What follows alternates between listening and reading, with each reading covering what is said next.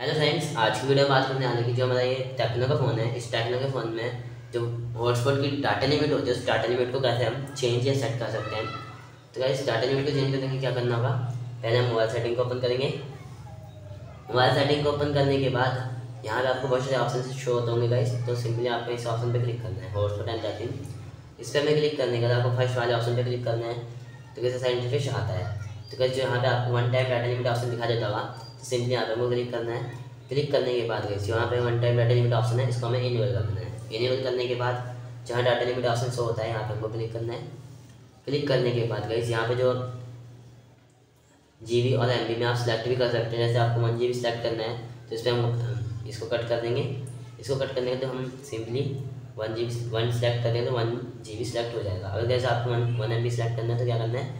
वैसे आपको इसको कट करके वन लिख के ओके कर देना है। तो सिंपली आपको वन एम सेलेक्ट हो जाएगा। तो बस इस तरीके से हमने टेक्निकल फ़ोन में डाटा लिमिट को चेंज कर सकते हैं सेट कर सकते हैं। तो वैसे आई होप कि आप मेरी वीडियो पसंद आते हैं वीडियो को लाइक और चैनल को सब्सक्राइब और बेल आइकन को दबाना ना भूलें।